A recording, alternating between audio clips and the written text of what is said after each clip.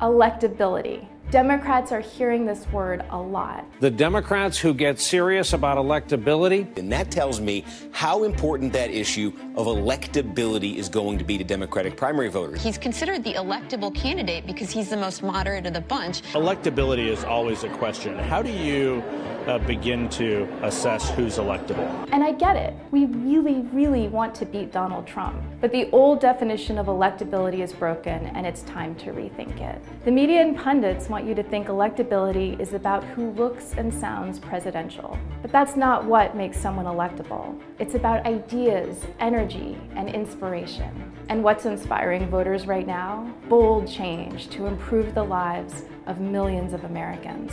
Let's run through some recent polling numbers.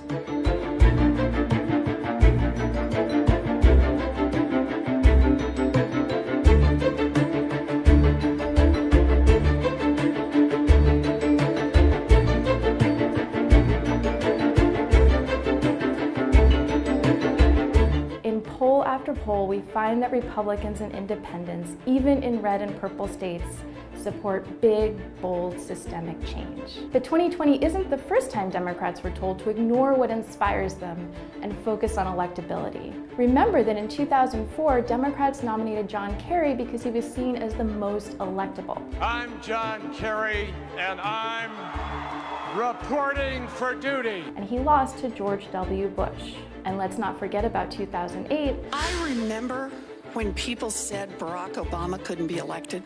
We are and always will be the United States of America. And 2016. I remember when people said Donald Trump couldn't be elected. A complete earthquake. This was an earthquake unlike any earthquake I've really seen. A winning candidate will make voters believe that things will change for the better if they are elected. Voters have to believe that their kids will be safer and there will be more money in their pockets. And voters have to be enthusiastic enough to get themselves to the polls. We need a political movement where voters are running to the polls, not being dragged there.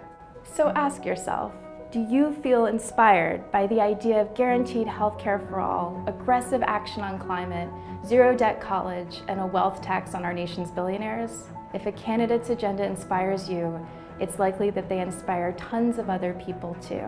And that's what electability is all about.